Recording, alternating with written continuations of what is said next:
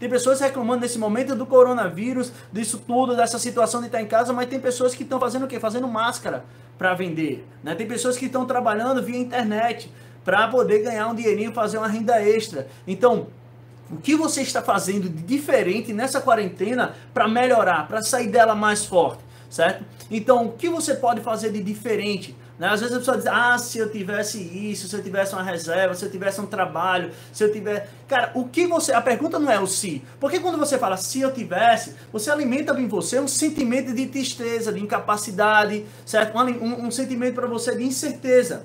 Mas quando você diz, o que é que eu poderia fazer para conquistar um emprego? O que, é que eu poderia fazer para sair dessa situação? O que eu posso fazer para conseguir é, manter o meu físico? Para conseguir é, manter os meus estudos? O que eu posso fazer? Quando você pergunta para você mesmo o que eu posso fazer, o que eu posso fazer, é, como eu posso fazer, o que eu tenho que fazer, já alimenta um sentimento diferente. Peraí, eu tenho que tomar atitude, eu vou fazer diferente. Você já eleva a sua adrenalina e você já começa a tomar atitudes mais corretas, tá? Então, não se preocupe, gente. Tome muito cuidado é, com a preocupação. Né? A preocupação é quando você começa a imaginar, tá? Um, ter um pensamento diferente do que pode ser o futuro.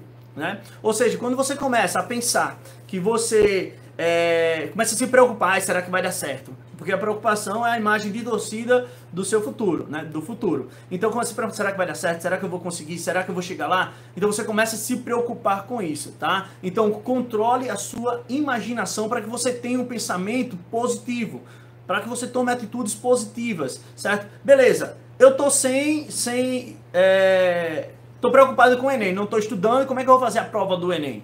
Como é que eu vou é, é, me preparar melhor? Quais as matérias que eu tenho dificuldade? Você tem o, o, o, contato dos seus professores? Eu creio que você tenha. Professor, em que, que eu devo focar nesse momento? Né? Qual matéria que eu tenho que usar? Organiza o teu dia a dia, organiza a, a, a, a tua semana